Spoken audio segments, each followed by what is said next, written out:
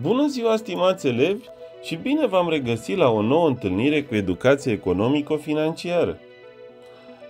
Vă propun să descoperim caracteristicile pieței, adică locul de întâlnire al cererii cu oferta. Locul acela magic în care au loc tranzacțiile de vânzare-cumpărare.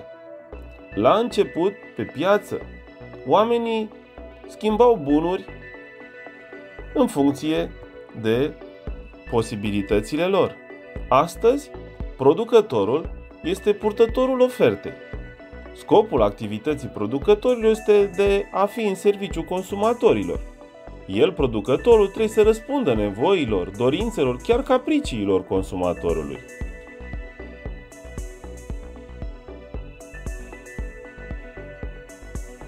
Consumatorul este reprezentantul cererii.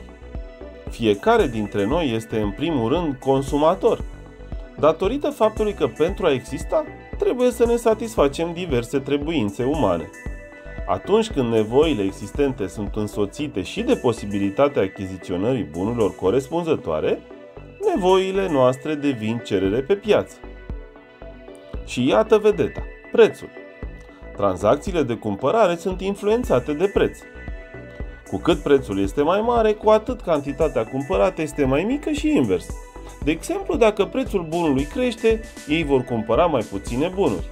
Așadar, comerciantul este obligat să se orienteze după cerere și după preț. Corelația dintre cerere și o ofertă este raportul care determină formarea prețului. Aceasta este lecția de astăzi și sper să ne revedem!